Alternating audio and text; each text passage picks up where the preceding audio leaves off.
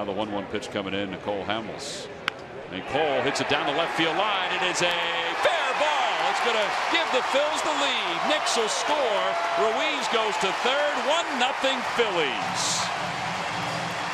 All right, Sarge, you win.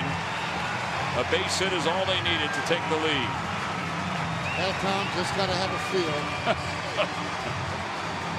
That's good hitting, though. A little inside-out type of uh, swing that we've talked about Cole hitting uh, before. It does have really a good setup.